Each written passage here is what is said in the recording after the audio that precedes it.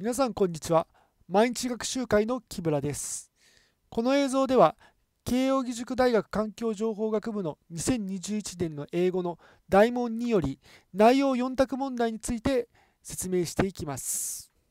まず、えー、56番から、えー、解説していきたいのですが、えー、第3段落で、え最近のテクノロジー企業のスキャンダルの原因は何であると著者は考えているかという問題でこれはあの第3段落のという段落の指定があってそれに対するまあ内容一致問題となっているので、えー、第3段落の文章を見ていきたいと思います。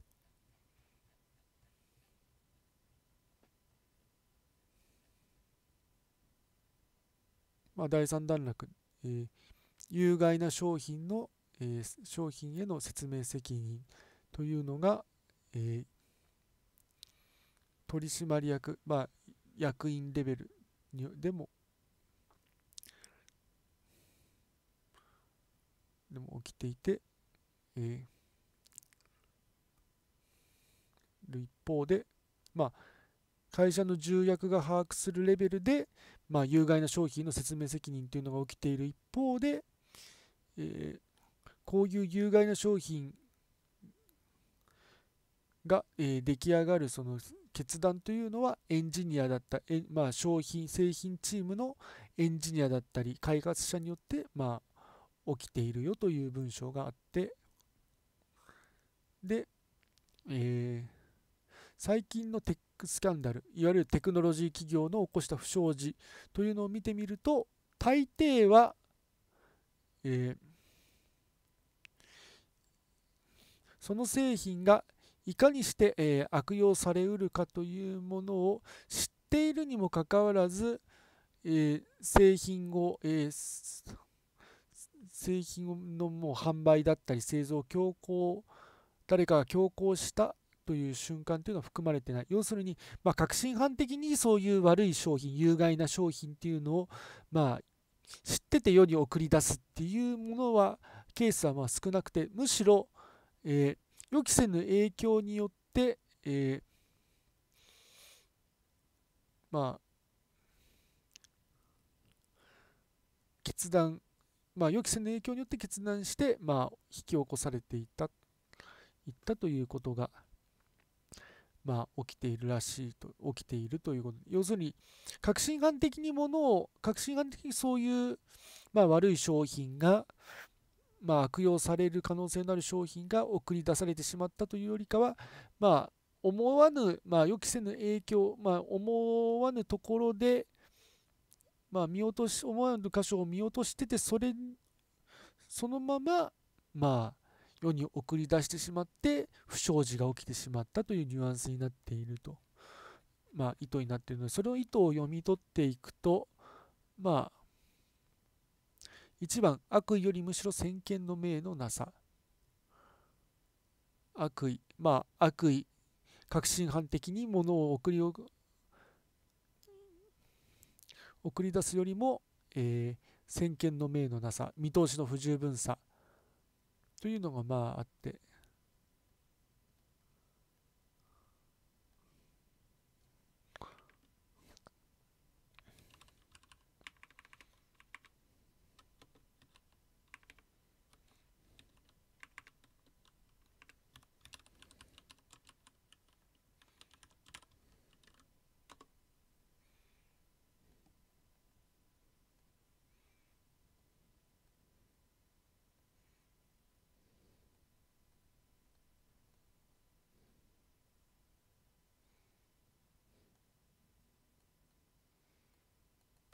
こういう。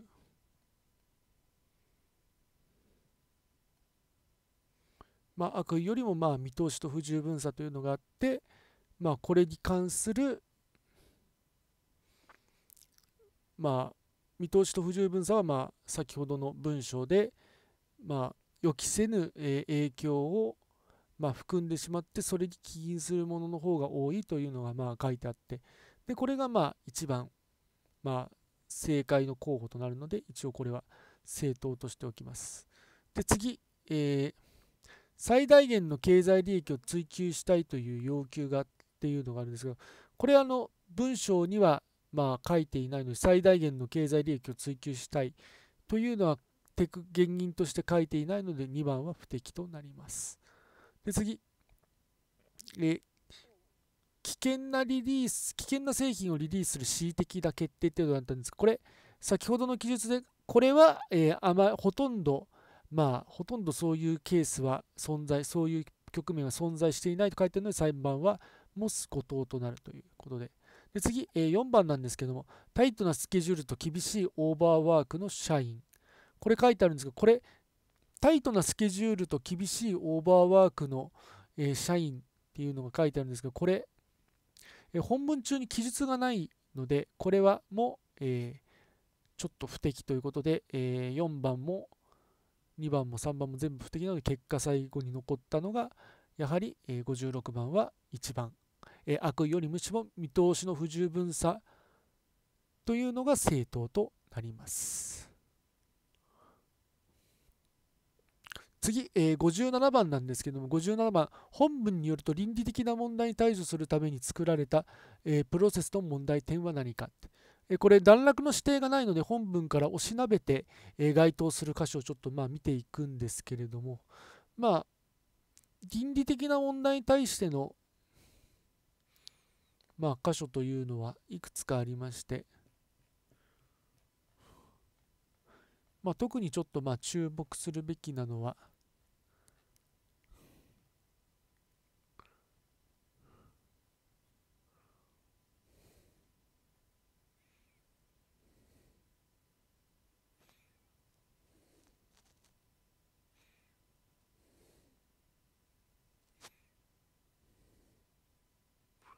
どこかというと、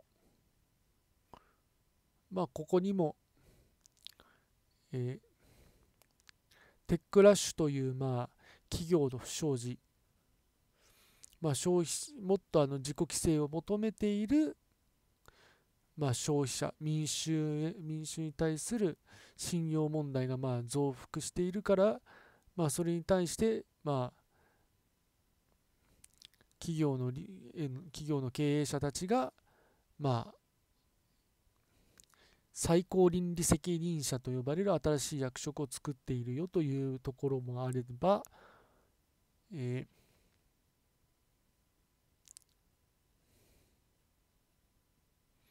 この第7段落のように、えー、会社で、えー、倫理責任者が、まあ、取り仕切ってると言われている、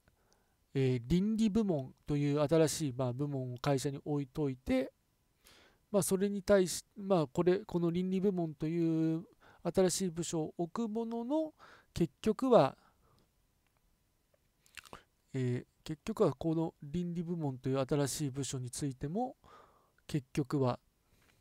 まあ、会どれだけあの部門を大きくしてもえー、会社全体の需要を賄うことはできない。というのもあったり、えー、まあ、その代わりとにマイクロソフトような会社で、まあ、チームごとにアンバサダーやチャンピオンという、えー、役職をまあ設けてでその人たちにまあ予期せぬ、まあ、影響だったりとかまあ、問題懸念点の列挙みたいなものを促すように手伝わせるっていう、まあ、方策もあったりという形で書いてはいるんですけれどもこの中で、え、57番で、まあ、倫理的な問題対処するために作られたプロセスは、まあ、先ほど述べていたんですけれども、えー、従業員に余分な業務を与えることが理にかなわないっていうんですけども従業員に余分な業務を与えているっていうニュアンスでは、まあ、先ほどの倫理部門で、えー、会社の全体の需要に対するキャパ超えがあって賄えないっていう、まあ、記述はあったんですけど、それは余分な業務とは言えないわけで、まあ、会社のその倫理部門にとって必要な業務だけれども、まあ、需要が大きすぎて賄えないっていうニュアンスなので、余分な業務ではないので1番は不適です。で、2番、えー、2番なんですけれども、えー、それらのプロセスは解決すべき問題の防止には効果的ではないっていうのを書いてあって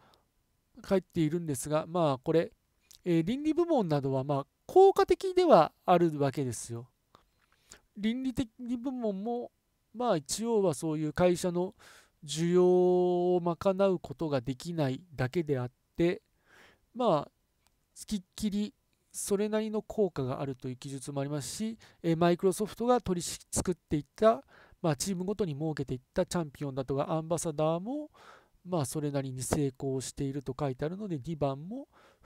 効果的でないという点で不適です。で、まあ、残ったのが3番と4番なんですけれども、まあ、4番なんですけれども、えー、開発者は特段自社製品の商品の倫理的に問題に対して強いバイアスを持っているっていうのを書いてるんですけど、これにまあ近い箇所が、ライナー段落の3分目なんですけれども、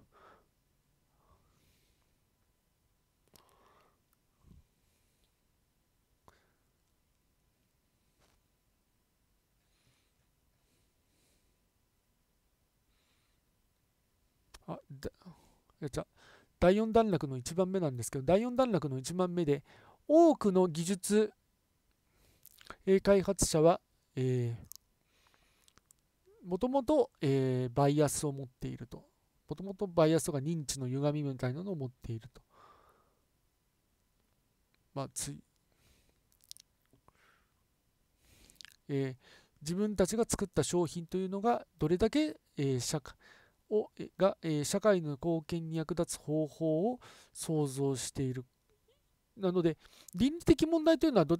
よりかはどちらかというと、社会に対してどれだけ有益なものをもたらしていくかということに対しての偏見というのを持っているということなので、えっ、ー、と、57番の4番も、まあ、不適ということに、えー、なりますので、えー、答えは57番は3番が正答となります。時間にかかりすぎるので利用されないと。これの該当箇所は、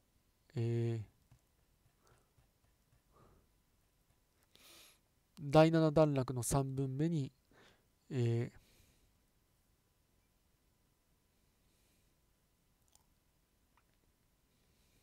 第7段落の、えー、先ほど述べた、えー、1文目。どんなに会社、どんなにあの倫理部門を大きくしても会社全体の需要を賄うことはできないというところと、え倫理チームというのは全体は、えいくつかの議論、議論がまあ及んでいるトピックであったり、え複雑な新商品に対して、まあ、数ヶ月もの間、えー、つきっきりになるのには、まあ、役に立つけれども、えー、会社のすべての問題だったり製品に製品だったり、まあ、サービスだったりに対して、まあ、資料だったり注意を図るのに対しては釣り合いが取れない見合わなくなっていく。要するに、えー、倫理部門は会社に倫理部門を置いてもスケール小さな小規模の問題でしか対応ができん。小規模の問題にしか取り組めないし、まあ、キャパシティがまあ、限られてしまっているよというニュアンスなので3番が正当になるということになります。で次58番、えー、著者によると倫理面でのアンバサダーやチャンピオンが行う義務ではないものとしてどれが一番妥当であるかっていうところなんですけどもこれあの段落の指定がないのでないので、えー倫理面でのアンバサダーやチャンピオンというものに対するこのキーワードを、まあ、本文中から探し当ててかつ、えこれノット問題なので、え該当する箇所を一つ一つ、え参照して、まあ、誤答、まあ、記述のない、え選択肢を選んでいくということになっていきます。ということであのチャンピオンやアンバサダーについての記述があるのは、まあ、先ほども見たんですけども第8段落の1文目にここのアンバサダーやチャンピオンっていうのが、まあ、チームの、えー、チームにま配属されて、まあ、訓練をしていると。マイクロソフトという会社がまあの成功例を挙げて、まあ、チャンピオンやアンバサダーが何をする仕事かというとチーム内の、えー、予期せぬ、えー、悪影響に対する感度を高めさせたり、えー、問題や懸念点に対して、え列挙するように、えチームに促しチームを手助けしている。そういった仕事の役割要するに、まあ、目安箱であったりとか、まあ、危険そういうリスク管理のような、まあ、潜在リスクの管理のようなものを担当しているのがアンバサダーやチャンピオンであるという記述なので、えー、58番の選択肢を見てみると、まあ、まあ、これはあの、まあ、ウッドがかかったんで、まあ、本文中の内容を、内容とか特徴を捉えた上で、まあ、当てはまるものと当てはまらないものを、まあ、見分けていくという問題になっていくのですが、まず1番、新しいユーザーインターフェースが障害者にとってどのような利益をもたらすか考える。これは、まあ、新しいユーザーインターフェースを設計しました。で、それが、まあ、予期せぬ悪影響で障害者に対して不利益をもたらすことがあるっていうのを、まあ、今のその予期せぬ悪影響をに対する感度を高めるというのを考えると、これはアンバサダーやチャンピオンの役回りなので、まあ、丸ということで、これは除外します。で次、2番。え広告主が顔認証システムを利用して盗難を防ぐための支援を行うっていうんですけども、これ、顔認証システムという手段を用いて、盗難というまあ悪事を防ぐんですけども盗難って予期せぬ悪影響だったり、まあ、技術を作っ作ったプロダクトに対する問題であるかというと、ちょっと、まあ、疑問点が湧くので、ちょっとこれは2番は、ちょっと、まあ、これこ、答えの候補としておきます。で、次3番なんですけど、3番、え AI アルゴリズムに潜在する人種的偏見に対するレポートを役員に向けて設計する。これ、あの、AI アルゴリズムが開発されて、その中にまあ人種的偏見に関する、人種的偏見などに対する表現を、例えばまああの文章を作る AI だとか、チャットボットみたいな AI で、まあ、日本でも、日本だかアメリカでもまあかつて事例があったんですけども、まあ、チャットボットを AI で作ったけれども、その中に、まあ、人種差別的な発言だったり、歴史的、政治的に不適切な発言をしてしまったっていう、それで、まあ、あえなく、そのチャットボットのサービスを中止にするという、えー、と事例がまあ実際にはあったんですけど、まあ、そういうのを考えると AI アルゴリズムが開発されてそれに潜在する人種的偏見に対するレポートを役員向けに作成するのもアンバサダーやチャンピオンのまあ役割と言えるので3番もまあまるで除外として。で残り4番なんですけども、えー、同社の他の技術製品で発生したプライバシーに関する問題を、えー、分析するというところなんですけれどもまあアンバサダーやチャンピオンっていうのは前のその前の7段落目に書いてあった、えー、会社の倫理部門とは違って、えー、会社のまあ大小いろんな問題に対して対応できるようにした、まあ、会社の倫理部門だったら、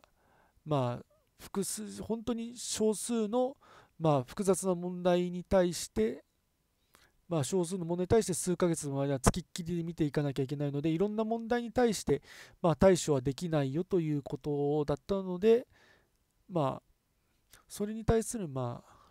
その代替策としてアンバサダーやチャンピオンが存在してるんですが、まあ、それに対して、まあ、他の技術製品で発生したプライバシーに対する問題ですから、まあ、技術製品が作られたけれども、まあ、予期せぬ、まあ、悪影響で、まあ、プライバシーの問題が発生したと、それに対する分析を行っていくとなると、これも、まあ、アンバサダーやチャンピオンの役割と言えるので、4番も、まあ、記述としてまあ合致しているので、まあ、除外ということで、答えは58番は2が正答となりますと。次、えー、59番。えー、著者は、えー、企業が自社の技術製品が倫理的作法に基づいて開発されていることをいかに確実にすべきだと考えているかという問題なんですけれど。これあの文章のパラグラフの指定がないので、えー、本文中からおしなべてまあ見ていくんですけれどもこの企業が、えー、倫理的作法に基づいて開発されていることを確実とすべきかについて書いてある文章がどこかというとまあこの辺りですね。9, 9, 大9段落のまあ一番最後と10段落の1番目と。で、えっ、ー、と、信頼あるイノベーションを実現するためには、え企業はこういう、え実践を、え個人の個人やチームの目標だったり成績評業績評価や出世昇給ボーナスやまあしまいには、えー、雇用の基準とするべきであると。で、こういう実践というのはどういうことかというと、えー、悪影響なども想定した設計であると。悪影響も想定した設計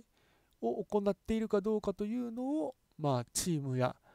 まあ、個人個人の従業員の目標としたり業績評業績や評価だったり、まあ、その後昇給やまあ、ボーナスとかそういったものの基準にするべきだというのがまあ一つあってでその次の文章でまあこの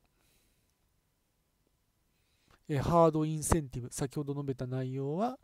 まあソフトインセンティブにとともに保管されるべきだとでこのソフトインセンティブが何かっていうとまあ新しい商品ができたりした時にまあ称賛される称賛されたり、まあ、何かしらの反応を得られるっていうのがソフトインセンティブだと。で、この2つをちょっとまあ見ていくと、59番の選択肢を見ていくとすると、え、倫理的な行動に関して、え、具体的な報酬と抽象的な報酬の一方を一貫して提供すること。これ先ほどの記述とちょっとまあ一致しているので、え倫理的な行動があったから具体的な報酬昇給だったり、まあ、業務の評価に、まあ、影響させていくっていうのと抽象的な報酬まあ褒められたり皆さんからおめでとうよかったと言われたりすることだったりあと倫理的な商品に対して、まあ、ストップをかけた時にあなたは賢明なことをしたというふうにまあ称賛されていくっていうのを考え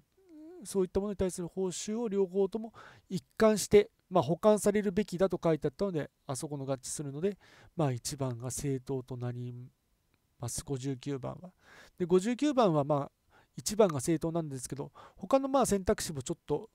まあ、何が間違いかちょっと見ていくとすると、まあ、2番、社員が倫理的な行動をとったときに、ボーナスなど金銭的なインセンティブを与えることっていうのがあるんですけど、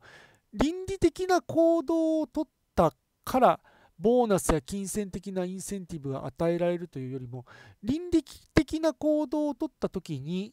まあボーナスや金銭ボーナスなどの基準評価基準になる。っていうのでそのまま直接インセンティブが与えられているということではないので不適です。で次、えー、会社全体の倫理的な問題を扱う、えー、倫理部門を設置することって書いてあったんですがこれに関しては、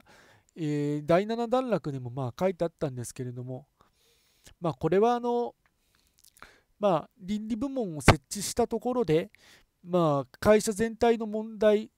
のキャパシティ、キャパシティという、キャパシティ、需要のキャパシティを賄えないと書いてあったので、これもまあ最適ではないっていう問題点があって、否定されていたので3番も不適と。で4番、えー、倫理面でのチャンピオンやアンバサダーに開発プロジェクトの主導権を与えることって書いてあったんで、主導権を与える、まあ、第8段落をちょっと見てみるとですね、チームにまあ付属していくっていうのであって、チームに付属しているだけ、所属しているだけであって、主導権を握るような役割っていうのは、ここの記述には書いていないので、59番の4も不適と。で、改めて59番は1番が正当となります。最後、えー、本文に基づいて、えー、次のうちどれがテックラッシュの、えー、例になりうるであろうか。まあ、これはあの段落の指定がないので段落の指定本文をお調べてみていくとともにこのテックラッシュの例というのになりうるのが何かってこのウッドが書いてあるので、え、記述をまあ抜き出してそれに合致したものを日々選択肢でテレア適宜あの照らし合わせていくという問題になっていくんですけれども、まあ、テックラッシュがどこにあるかというと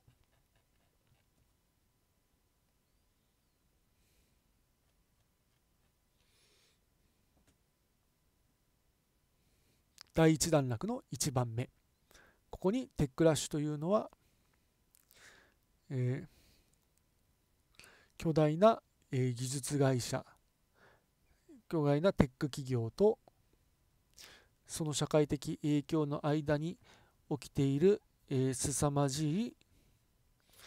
伸びつつある、えー、反感の高まりであると書いてあります。まあ社会テック大きなテック会社まあアメリカの IT 企業などのに対する社会的な影響に対する反感の高まりというのが起きていてでそれに対するまあしてまあ政府というのは、えー、伝統的な政策決定がそういうまあテクノロジーの進化だったりまあ変化の大きさとかスピードにはまあ、追いついていけないので腹立たしい。で、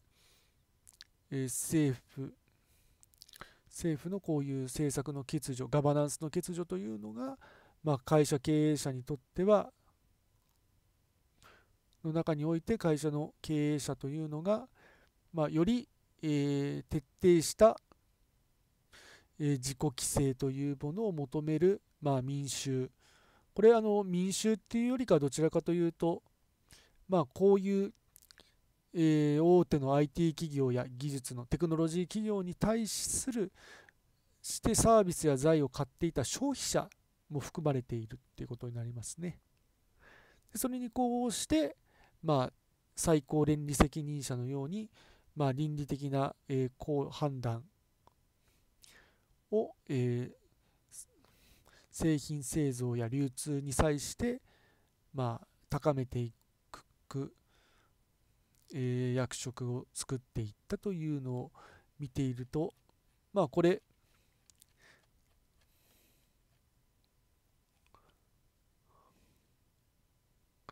まあ、テックラッシュというのが、まあ、いわゆるテクノロジー企業の作り出した製造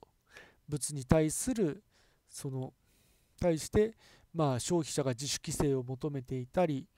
まあ、する自主規制を求めていたり、まあ、倫理的にかなわない倫理的にちょっとそぐわないものであることに対する、まあ、反感が起きているっていう構造を、まあ、見てみるとえ1番え政府が国策上の理由で海外のアプリケーションをえ禁止すること。これはま不適ですね。あの政府はえ技術の変化技術のまあスピードと変化に対して現代の現現行のまあ従来の政策形成がまあ役に立たないことに対してちょっと腹立たしく感じているだけであって国策上の理由で外国のアプリケーションは禁止していないので不適です。次2番。他社の独占行為を批判しているテクノロジー企業。って書かれてるんですけどテクノロジー企業はむしろ批判されている方なので他社のであるし他者の独占的な行為ではなくて批判されている内容も、えテクノロジー企業が作っているサービスや財、まあ、製品に対しての、まあ、倫理的な、まあ、懸念に関してなので2番も不適です。で残ったのが3番と4番なんですけど、まあ、次4番を見ているとするとアーティストが自分の知的財産を無用無断で使用したとして企業を訴えること、まあ、一見、えー、企業が、まあ倫理的に違反したことをやっていて、まあ、それに対して無断し、それに対しての訴え、アーティストによって訴えられてしまうっていう、まあ、ことなんですけれども、知的財産の無断使用ではなくて、えー、自分が作ったテクノロジー企業が自前で作った製品やサービスが起こした悪影響に対するその不満である不満であったり抗議であるっていうのを考えると自分の知的アーティスト自らの知的財産の無断使用っていうのは、まあ、企業側は作っていないわけですよね。で企業側が作っていないということは4番も不適であるということで、えー、残ったのは3番、えー、ソーシャルメディアアプリがネットいじめを引き起こすと考えたユーザーによるボイコット。これはまあ正解ですね。要するにソーシャルメディアアプリというものがまあ作られました。まあ、テクノロジー企業によって皆さんも想定する企業がいくつかあると思うんですけどもその想定できるまあ企業が作ったソーシャルメディアアプリによって、まあ、いくつかネットいじめの事件がまあ起きてしまってそのネットいじめの事件というのは、まあ、ソーシャルメディアアプリの運営会社は想定していないわけでそういうソーシャルメディアアプリが想定していない、まあ、ネットいじめという事案があってそれに対してユーザーがそれに気づいてでそれに対して反感を持ってボイコットしていくっていうのをまあいう記述といいますそういうふうにまあ筋道を立てていただくとまあテックラッシュの例になりうるのは3番であるとまあ導くことができると思います。ということで以上をもちまして、えー、大問2の、えー、内容4択の、えー、説明を終了させていただきます。皆さん、えありがとうございました。